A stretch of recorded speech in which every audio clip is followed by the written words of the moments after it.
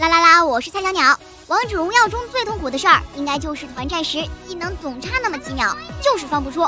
每当这个时候，就无比后悔，为什么不提前打个蓝 buff，或者是多出几件冷却装呢？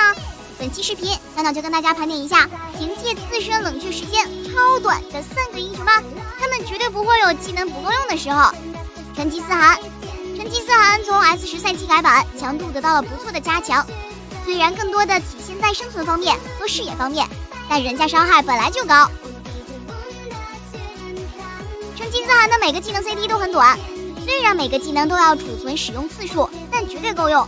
哈士奇的核心装是宗师之力，技能接普攻真的是又顺滑，伤害又爆炸。不知火舞，虽然现在的小伙伴们都知道这个英雄是姓不知火的，但我们还是习惯性的称呼他为火舞吧。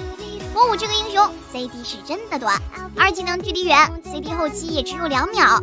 最重要的是还不需要储存，使用火舞主要还是依赖二技能的 poke，先远程消耗敌方血线，再选择合适的时机切入秒杀。与其说火舞是个法师，不如说他是个刺客。不过当前版本并不算强势。阿珂，阿珂这个英雄本身的冷却并不短，但是一旦刷新被动，那就等于是全套技能无 CD 啊。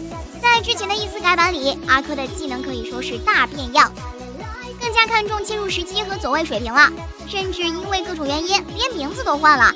不得不说，改版之后的阿珂对后排的威胁变得更大，在后期时只要被他的二技能戳中，接个平 A 和一技能，基本上就 GG 啦。而且一旦收割起来，谁也夹不住。好啦，本期视频就到这里啦。貂蝉的 CD 也的确很短，不过还是很依赖蓝 buff，所以这次就没有上榜。小伙伴们觉得哪些英雄冷却时间非常短呢？欢迎下方留言讨论。喜欢记得关注菜小鸟上分指南，么么哒。